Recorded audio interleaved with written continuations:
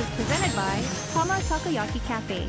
Located in between Guam Reef and Westin Hotel in Tumon, call them today at 648 Tama.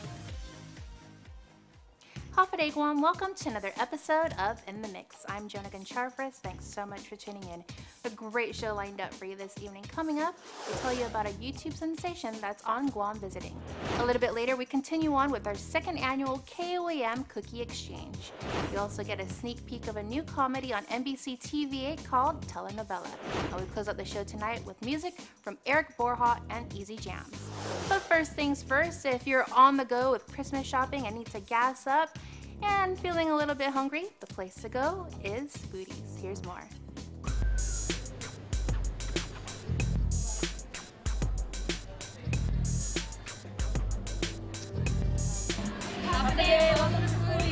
As part of IP&E's expanded retail shop offering, they've introduced a new brand, Foody's.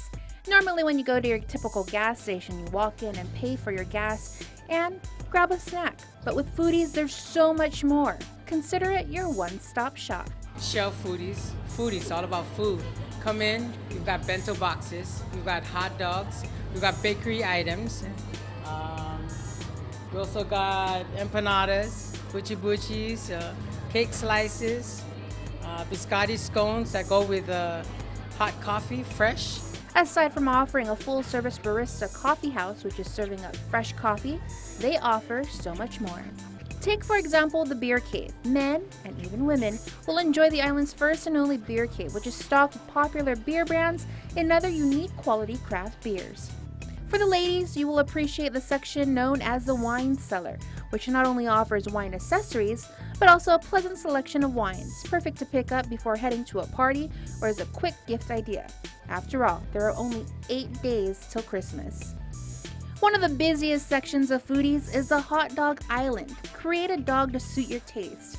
With a selection of buns, hot dogs, condiments, and toppings, the possibilities are endless. We have flavored buns, uh, also flavored hot dogs, not just a regular hot dog.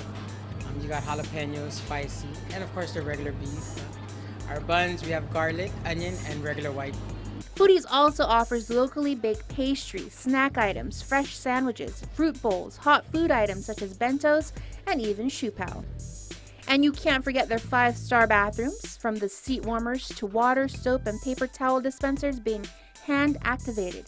It makes for a pleasant experience. And speaking of pleasant experience, if your car needs a good wash, you can head over to the Auto Wash. It's a state of the art 24 hour car wash facility that offers quality wash along with vacuum and tire dressing services in the Upper Tumon location.